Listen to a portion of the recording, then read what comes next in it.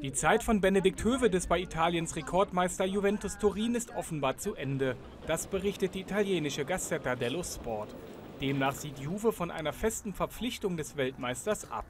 Hövedes war in der vergangenen Saison von Schalke an Juventus ausgeliehen gewesen, bestritt wegen diverser Verletzungen aber nur drei Pflichtspiele. Der Innenverteidiger deutete zuletzt zumindest eine vorläufige Rückkehr nach Schalke an.